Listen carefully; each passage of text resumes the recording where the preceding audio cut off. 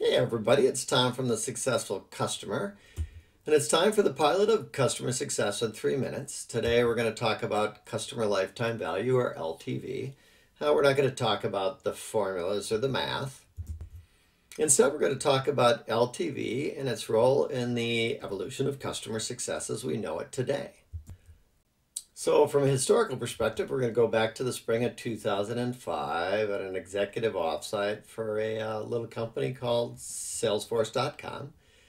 If you think about it, 2005 is a year after their IPO. I'm guessing everybody at this offsite is having a pretty good time. Um, that's at least until this guy, uh, David Dempsey, uh, soon to be known as David Doomsday Dempsey, walks into the room and announces churn is at 8%, and that's 8% per month. So if you do the math, Salesforce is going to lose 63% of its customers over the next year. So this was obviously a huge deal, big enough that uh, there was an article written by uh, Dan something. You can reach out to me for a link. Anyway, um, it was entitled Churn, the one word that saved Salesforce from certain doom.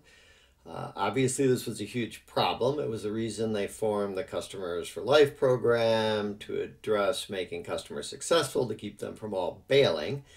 Yeah, um, disaster was avoided, but there was also a huge upside, which is what we're going to talk about next.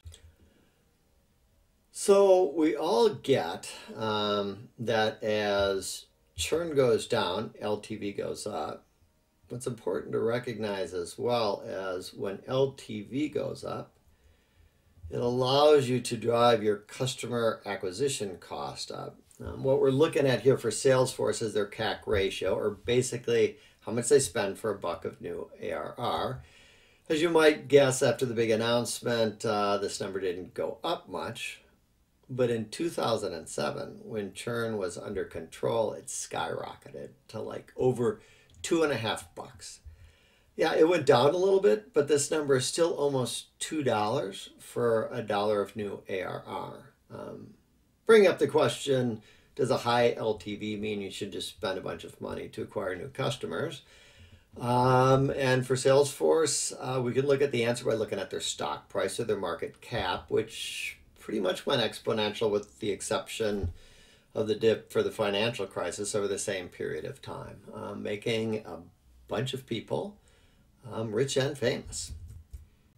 So, what's the important lesson here in three minutes? Um, customer success is insanely important to the evolution of great companies like Salesforce.com.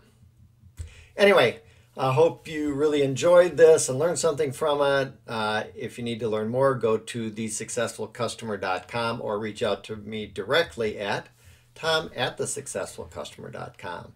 Uh, look forward to having you join us for the next Customer Success in Three Minutes. Until then, enjoy.